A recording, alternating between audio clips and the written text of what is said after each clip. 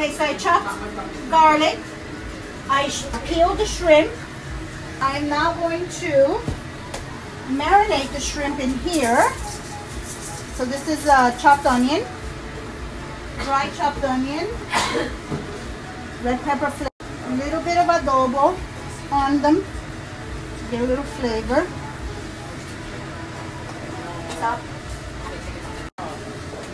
Okay, so I'm throwing my garlic there.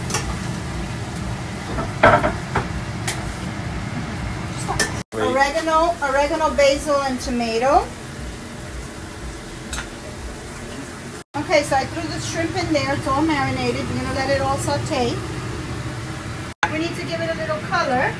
So a little sazon to give it color. Just one.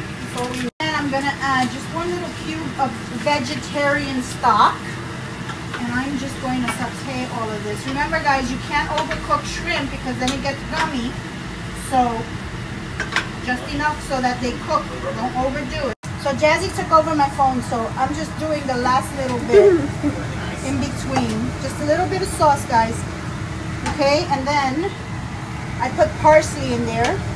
And now all of this is gonna saute nicely. So I'll give this another five minutes on medium to high. And then we will be sitting down to eat. See you in a bit. So here is my finished product, guys.